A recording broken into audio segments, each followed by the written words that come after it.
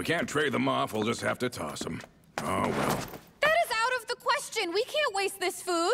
After all the work it took to grow, it's perfect and shiny and delicious. Veggie lover.